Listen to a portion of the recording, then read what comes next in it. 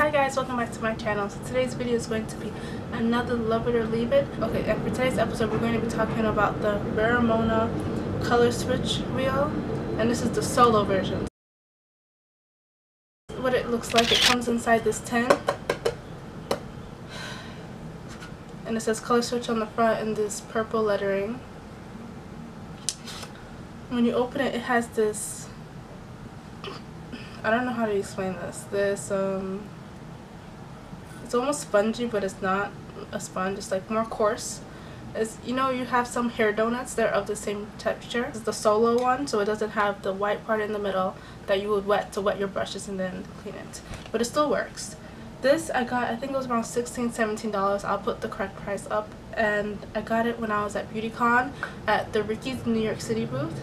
So I saw this, I first saw this um, product on, I think it was Coffee Break with Dani's.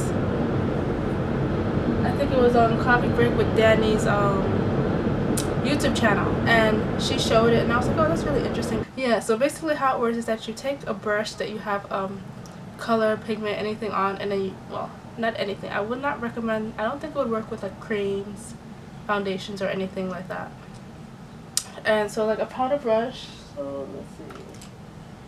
So I'll take this one. It has blue eyeshadow from the tutorial that I just did and you would take it and you would rub it in here.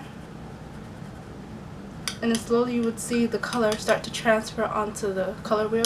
Like it has a bit of pink from when I was doing the pink on my eyes and I used the same brush. So yeah but the thing that really confused me at first is that the color doesn't completely come off the brush.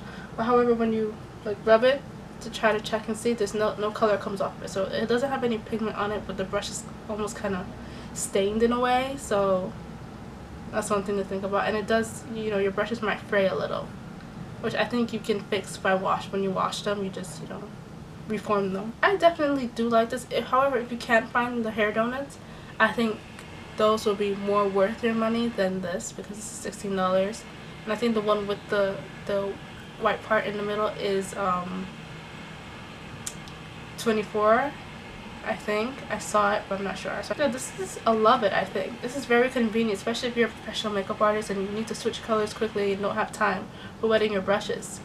If there's something that you think you would need like you have if you don't have that many brushes and you need to switch them out then this would be good but then at the same time at the same time the cost of this could be around one or two brushes depending on where you buy them. So if you need to switch colors on certain brushes like you want to use the same brush for a different color then this is something to invest in. That's it for this love it or leave it if you like this types of video, please give it a thumbs up so I know. Leave comments below any suggestions of any other videos or any other products you would like to see me do a love it or leave it on. And I'll see you guys in my next video. Bye.